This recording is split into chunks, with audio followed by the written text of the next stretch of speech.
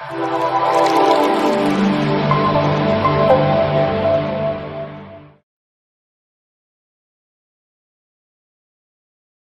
నమస్తే welcome to RTV. నేను మీ అశోక్ రెడ్డి. ఈరోజు మనతో ఒక మంచి యాక్టర్ ఉన్నారు. ఆ, శివకార్తికేయ అన్న పేరు మీ అందరికీ తెలుసు. ఆయన చూస్తే ఇట్లా గుర్తుపట్టేస్తారు. జోష్ నుంచి భీమిలి కబడ్డీ నుంచి ఇప్పుడు అఖండ సినిమాలో దేవుడా అంటూ మన బాలయ్య బాబు గారికి ఎలివేషన్ ఇచ్చే సీన్ అందరికీ నచ్చుంటుంది. సో ఆయనే శివకార్తికేయ అన్న ఈరోజు మనతో ఉన్నారు. ఆయన అడిగి సినిమా విశేషాలు ఆయన జర్నీ విషయాలు తెలుసుకుందాం. అన్న నమస్తే. Hi hi Ashok. ఎట్లా హౌ ఆర్ యూ ఉన్నా? గుడ్ గుడ్ నేను చాలా బాగున్నాను అన్న. Thank you so much yo so ఎలా అనిపిస్తుంది అన్న? అఖండ సూపర్ డూపర్ హిట్ అయింది. సో మీ రోల్ కూడా మంచిగా పండింది? అవును. అది వండర్ఫుల్ ఫీలింగ్ అశోక్. ఎలా అంటే ఇప్పుడు ఒక వ్యూస్ ఫీలింగ్లో మనం ఉంటాం. అట్ ది సేమ్ టైం మనకు ఇంపార్టెంట్ క్యారెక్టర్ ఉండడం. అనేది every actor it's a dream. మన స్ట్రగుల్లో ఉన్న అలాంటి క్యారెక్టర్ పడినప్పుడు ఆబ్వియస్లీ ఎలా ఉంటుంది అంటే ఫుల్ హైక్ అనిపిస్తుంది. ఫుల్ హైక్ మామూలు హైక్ ఎందుకంటే ఫిలిం కూడా వ్యూస్ హిట్ అవును. ద బ్లాక్ బాస్టర్ అసలు. ఎలా అంటే ఎక్స్పెక్ట్ చేయనంత హిట్ అయిపోయింది. నా చొక్కాలు చింపుకున్నారన్న నేను లేడీస్ అని కాదు నేను అంటే నేను ఇయర్స్ తర్వాత చూసాను స్క్రీన్ మీదకి వెళ్ళి టీ షర్ట్లు రిమూవ్ చేసి డాన్స్ చేయటం. థియేటర్ బయటకు వచ్చిన తర్వాత చుట్టూ రౌండ్ అప్ చేసి జై బాలయ్య జై బాలయ్య అని. అరవటం. నేను ఫస్ట్ డే బెన్బీ షో కాదు సాటర్డే ఫస్ట్ షో కూడా చూసాను నేను. అదే ఫ్లో ఒక ఐదు రోజులు అంతే. మన సండే వరకు నడిచిందన్న. అవునవును అవునవును మామూలుగా సినిమా. సూపర్ హిట్ అయింది. అంటే మీ రోల్ గురించి చెప్పండి అవకాశం వచ్చింది అసలు? అంటే మీరు చేస్తూ ఉన్నారు. ఫస్ట్. ఫస్ట్ కాల్ ఎవరి దగ్గర నుంచి వచ్చింది? రోల్కి అదే ఆ ఫిలింకి ఏంటంటే నేను సార్ని బోయపాటి సార్ని అంటే యాజ్ అన్ యాక్టర్గా లాస్ట్ త్రీ ఫోర్ ఫిలిమ్స్ నుంచి కలుస్తా ఉన్నా దగ్గరికి వెళ్ళి ఒకసారి హాయ్ చెప్పాను అట్ ది సేమ్ టైం టీమ్ని టీంలో రవి అన్న అని అసోసియేటివ్ ఉన్నారు చీఫ్ అసోసియేటివ్ సో వాళ్ళని కలిసి రవర్నికి నాకు అంటే నా వీడియోస్ నేను బిఫోర్ చేసినవి ఎప్పుడన్నా ఒకసారి నేను చేసిన ఫిలిమ్స్ ఫార్వర్డ్ చేస్తూ ఉండేవాడిని కలుస్తూ ఉండేవాడిని. సో రవర్ని కూడా ఎప్పుడు అదే- చెప్పేవాడు. అరే చేస్తే మంచి చెద్దురా నువ్వు మంచి యాక్టర్వి ఓకే. చేస్తే నేను మంచిది రిఫర్ చేస్తా. సార్కి ఆ క్యారెక్టర్ వచ్చినప్పుడు నీకు సెట్ అయితే ఆ క్యారెక్టర్ ఆ క్యారెక్టర్కి సార్కి రిఫర్ చేస్తా. ఆ మంచి క్యారెక్టర్ రిఫర్ చేస్తా. నీకు వస్తుందా రాదా అనే విషయం పక్కన పెడితే ఆ అంత స్ట్రెంత్ ఉన్న క్యారెక్టర్ అయితే రిఫర్ చేస్తా అన్నారు. సరేనన్న థ్యాంక్ యూ అసలు ఫస్ట్ ఆఫ్ ఆల్ మీరు నన్ను బిలీవ్ చేశారు గుడ్ యాక్టర్ అని. It's enough to me. అనుకొని అలా ట్రావెలింగ్ జరుగుతా ఉంటే నాకు సడన్గా కాల్ చేశారు ఒకసారి. వచ్చి నెక్స్ట్ త్రీ డేస్ ఫ్రీగా ఉన్నావా అని అడిగారు. "ఆ, అన్న ఫ్రీ అని అన్నా. అంటే సరే ఫస్ట్ ఫిలిం సిటీకి వచ్చి ఒక క్యారెక్టర్ ఉంది.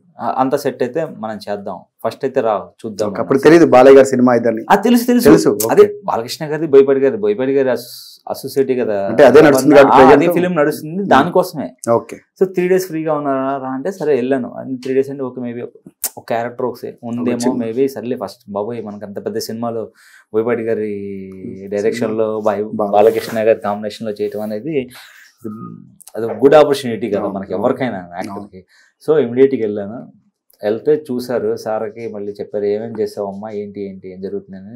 సార్ అడిగారు డీటెయిల్స్ బోయపాటి సార్ అడిగారు అంతా. మాట్లాడారు. సరే ఓకే ఫైన్ అమ్మా వీళ్ళు అప్డేట్ టుమారో అన్నారు. ఓకే. సరే టెన్షన్ ఉంది కొంచెం.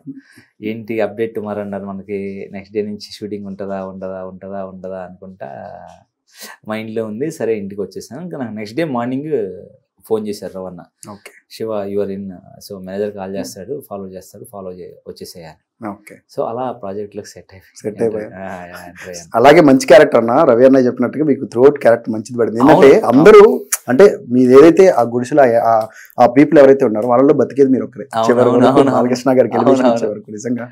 సో అంటే చెప్పండి నా ఫస్ట్ సీన్ మీరు కనిపించినప్పుడు శ్రీకాంత్ గారు. అవును. మీ డాడీ తలకాయ తీసుకొచ్చి అలా అసలు ఎలివేషన్ సీన్ అన్నది శ్రీకాంత్ గారి ఎలివేషన్ సీన్ సో మీరు అక్కడ సెట్లో ఏంటన్నా? అన్న మిమ్మల్ని పట్టుకొని శ్రీకాంత్ గారి కాంబినేషన్ సీన్ సో శ్రీకాంత్ గారి గురించి ఏం చెప్తారన్న? అసలు అక్కడ ఏం జరిగింది? దాని గురించి చెప్పండి ఆ సీక్వెన్స్ ఫస్ట్ అది నైట్ టైం షూట్ ఫస్ట్ ఆ గెటప్లో శ్రీకాంత్ గారిని చూడటం. ఓకే.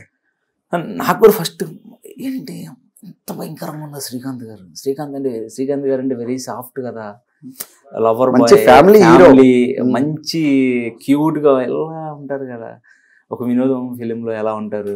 మంచి లవర్ బాయ్ లాగా పెళ్ళి సందడి అలా చూసేసరికి నాకే అనిపించింది బట్ శ్రీకాంత్ గారు ఏంటంటే వాళ్ళు స్పేస్ ఇస్తారు మనకి ఇప్పుడు నన్ను అలా చేసి ఆ చిన్న sequence లో కూడా సో ఫస్ట్ ఆఫ్ ఆల్ సారే బోయపాడి గారు నీట్గా ఎక్స్ప్లెయిన్ చేశారు. క్లియర్గా పిన్ టు పిన్ నాకు ఎక్స్ప్లెయిన్ చేసినప్పుడు ఇలా ఉంటుందమ్మా ఇలా ఉంటుంది ఇలా ఉంటుంది ఇలా ఉంటుంది అనేది సీరియస్గా చెప్తున్నాను అశోక్. నిజంగా భయపట్టి సార్ చెప్పిన దాంట్లో మనకి ఎక్స్ప్లెయిన్ చేసిన దాంట్లో ఒక ఫిఫ్టీ పర్సెంట్ మన స్క్రీన్ మీద కనుక ఎగ్జిక్యూట్ చేస్తే అది ఇంకా వండర్లా ఉంటుంది. అంటే అంత డీటెయిలింగ్గా చెప్తారు. అంటే మనకే కాదు ఈవెన్ క్రౌడ్ ఉన్న జూనియర్ ఆర్టిస్టులు ఒక కొంతమంది క్రౌడ్ కూడా అంతే క్లియర్గా ఎక్స్ప్లెయిన్ చేయగలరు. ఓకే సినిమా లాస్ట్లో చూస్తే పాట బాలయ్య బాబు గారు ఎలా చేస్తున్నారు? ముందంతా షాట్లు. సాంగ్ చూసావన్నా ఎన్నో. సినిమా అయిపోయిన తర్వాత సాంగ్ చేశారు ఎలివేషన్ చూపిస్తున్నారు. నిజంగా ఆయన ఆయన ఎట్లా చేస్తున్నారో బాలయ్య బాబు కూడా అట్లా యాజ్. టీజ్ ఉంది నిజంగా అవును, మీరు చెప్పింది నిజమే. పిన్ టు పిన్ ఆయన చూసుకుంటారు. అందుకే సినిమా అంత detailing so at the same time Srikanth sir కూడా ఆ స్పేస్ ఇవ్వటం అలా కాదమ్మా ఇలా పట్టుకుంటాను. ఎక్కువ ప్రెజర్ పడుకునే అదంతా తను. ఓన్ చేసుకొని సార్ అంటే మోర్ ఎక్స్పీరియన్స్ కదా ఇలా. పడు జాగ్రత్తగా. అదంతా కూడా వండర్ఫుల్ ఎక్స్పీరియన్స్ అది. సో ఆ డైలాగ్ చెప్తుంటే శ్రీకాంత్ గారు అవును. సో అమ్మో అయితే అనిపించింది. ఎలా అనిపించింది లైవ్ నాకు కూడా అదే అసలు అంటే శ్రీకాంత్ గారు కనపడలేదు. ఆ గెటప్ ఆ అంబియన్స్లో వరదరాజులే ఎంత క్రూరంగా ఉన్నారు అన్న ఫీలింగే వరదరాజులు గారే కనపడ్డారు. అసలు భయం ఆయన నడక ఆయన బా అది అంటే ఇప్పుడు ఆ సెట్లో అప్పుడు ఆ ఫీలింగ్ ఏదో థియేటర్లో జనాలు కూడా అది ఫీల్ అయ్యారు ఆడియన్స్ కూడా అది ఫీల్ అయ్యారు కాబట్టి అది అంత వర్కౌట్ అయింది. ఎగ్జాక్ట్లీ ఇక బోయపాటి గారి గురించి అంటే బోయపాటి గారి నుంచి ఏం నేర్చుకున్నావు నువ్వు? అంటే ఈ సినిమా త్రూ లో ఆయన నుంచి మీరు నేర్చుకున్న పాయింట్స్ ఓన్లీ వన్ థింగ్ ఇప్పుడు యాక్టర్లు అంటే ఒక షార్ట్ జరుగుతుంది రిలాక్స్ అవుతారు వస్తారు. కానీ డైరెక్షన్ డైరెక్టర్కి ఆ స్పేస్ ఉండదు. మార్నింగ్ వచ్చిన కానీ ఈవినింగ్ దాకా సీరియస్ చెప్తున్నాను. మార్నింగ్ సిక్స్ స్టార్ట్ చేస్తే నైట్ టూ వరకు జరిగిన అదే ఎనర్జీలో ఉంటారు. Morning six o'clock shoot start అయినప్పుడు ఎలా ఉన్నారో మనిషి అంత ఫ్రెష్గా అంత యాక్టివ్గా అంత ఎనర్జీగా midnight two o'clock pack up అయిన అలానే ఉంటారు. ఓకే. అంత ఎనర్జెటిక్గా ఉంటారు ఆయన. అంత యాక్టివ్గా ఉంటారు అంత క్లియర్గా ఉంటారు. ప్రతి ఒక్కరికి ఆన్సర్ చేస్తారు. ప్రతి ఒక్కరికి రెస్పాండ్ అవుతారు. ఎంతమంది జూనియర్ ఆర్టిస్ట్ వచ్చి పలకరిస్తున్నాయి అమ్మా బాగున్నారా? తిన్నారా? తిన్నారా? మీరు రిలాక్స్ అవ్వండి. మీకు టైం ఉంది నేను చెప్తాను. అని ప్రతి అలా every wonderful human being bro. అంటే సీరియస్ చెప్పాలంటే గాడ్ గాడ్ గ్రేస్ వాళ్ళతో పని చేయటం వాళ్ళతో క్లోజ్గా కొంచెం జర్నీ అవుట్ జర్నీ చేయటం అనేది సీరియస్లీ మన అదృష్టం hundred percent bro. Hundred percent ఇక శ్రీకాంత్ గారి నుంచి ఏం నేర్చుకున్నారన్న? Actor bro dedicated actor sir.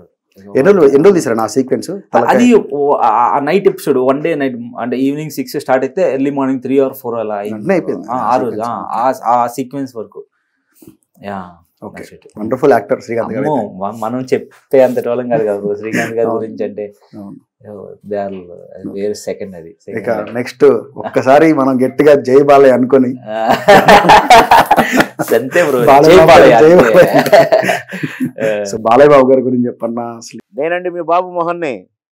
ఆ, వాకే వాకే వాకే.